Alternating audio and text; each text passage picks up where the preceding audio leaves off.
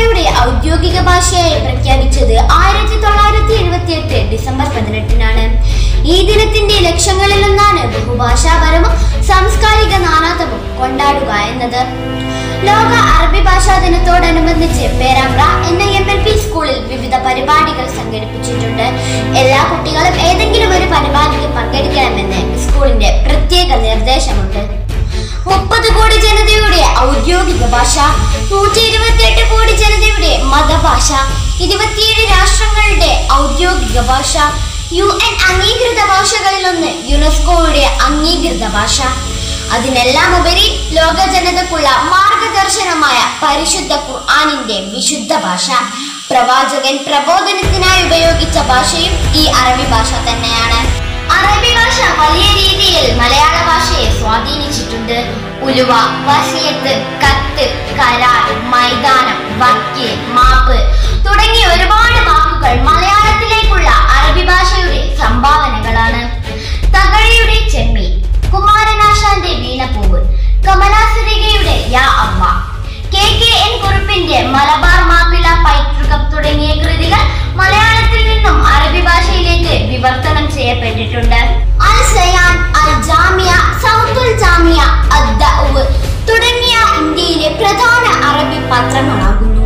Jamia Millia Islamia Aligarh Muslim University Delhi University Osmania University Darul Uloom തുടങ്ങിയ ഒരുപാട് അറബി കലാലയങ്ങളും ഇന്ത്യയിലുണ്ട്.